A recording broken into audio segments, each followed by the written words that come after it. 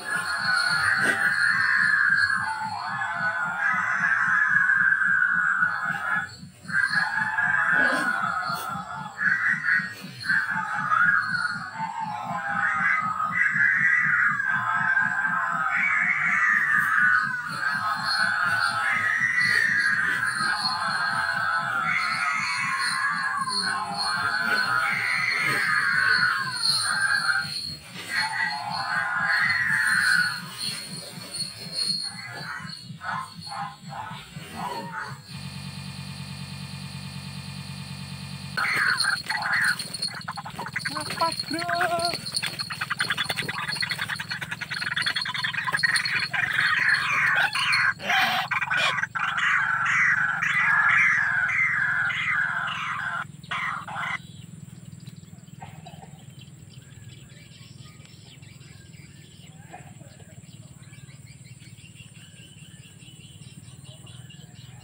kawan-kawan, kita dapat seekor.